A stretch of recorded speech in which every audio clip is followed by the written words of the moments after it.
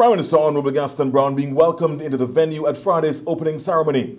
This is the 75th anniversary of the Commonwealth, and this meeting is historic in its own right.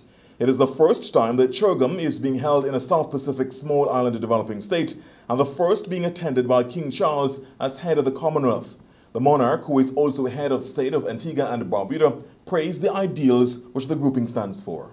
This is a family, or Aiga, as our Samoan hosts would say, of countries, of organizations, and of people. All nations are equal in this unique and voluntary association. His maiden summit as monarch came as the drumbeat of calls grows louder for reparations for Britain's brutal past in the transatlantic slave trade. There was this reference to the past. I understand from listening to people across the Commonwealth how the most painful aspects of our past continue to resonate. It is vital, therefore, that we understand our history to guide us to make the right choices in the future. Where inequalities exist, for example, in access to opportunity, to education, to skills training, uh, to employment, to health, and to a planet in whose climate our human race can both survive and thrive, we must find the right ways and the right language to address them. He also extolled the spirit of cooperation among the Commonwealth's 56 countries.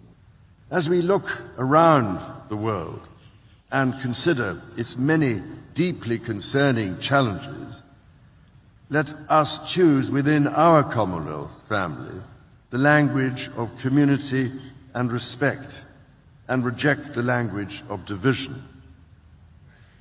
None of us can change the past, but we can commit with all our hearts to learning its lessons and to finding creative ways to right inequalities that endure.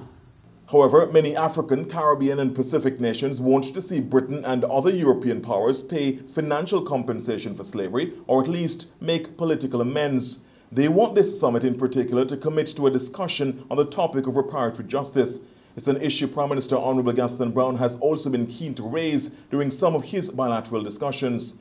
In the meantime, Secretary General Patricia Scotland, KC, says the bloc has proven itself fit for purpose. For 75 years, we have demonstrated an unparalleled ability to confound the painful history which brought us together and sit together as equals.